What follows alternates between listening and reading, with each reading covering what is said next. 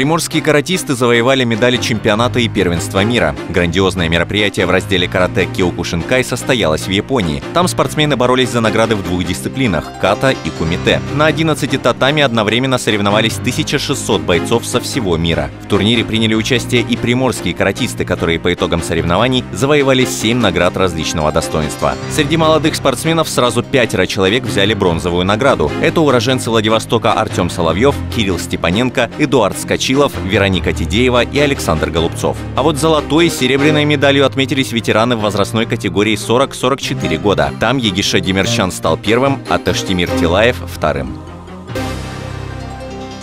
«Спартак Приморья» сразится за бронзовые медали Суперлиги. У нашей команды определился соперник в борьбе за третье место. Им станет баскетбольный клуб «Новосибирск». Напомню, что в полуфинале «Спартак» проиграл университету «Югра» с общим счетом 1-3 и вылетел из борьбы за чемпионство. Стоит отметить, что следующий противник приморцев – обладатель Кубка России этого года. Вдобавок, Новосибирск является победителем регулярного чемпионата первого дивизиона Суперлиги. В этом сезоне путь к победе сибирякам перекрыл баскетбольный клуб «Иркут». Борьба за третье место между «Спартаком» и Новосибирском пройдет в том же формате до трех побед. И начнется противостояние для нашей команды на выезде 22 и 23 апреля.